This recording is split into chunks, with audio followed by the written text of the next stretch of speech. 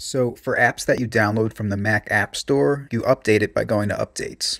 But what about all the other applications that you have that aren't on the Mac App Store? A lot of them don't notify you when they need updating. That's where Core Code's MacUpdater comes in. It has a free edition, which is to use scanning only, which will tell you all the apps that need updating but won't actually update them for you. And then there's the standard edition for $15, which will scan and download any new updates. Here's the icon, and I can see the number 13 next to it, which signifies that 13 applications need updates. I can hit this refresh wheel to rescan all the apps on my computer to see if they need updates. As you can see, all the apps on my computer that need updating are listed here, whether it needs a manual upgrade or not. For some, it's as simple as clicking Update App, like with Zoom. For others, like PCSX2, it'll ask you to manually update by launching the app. So just like this,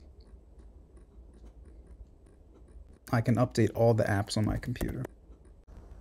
For apps that use specific programs to update the software, you can open the updater. In Preferences, I can choose to launch it at login, where the app icon is displayed, on-screen notifications, and what apps to ignore.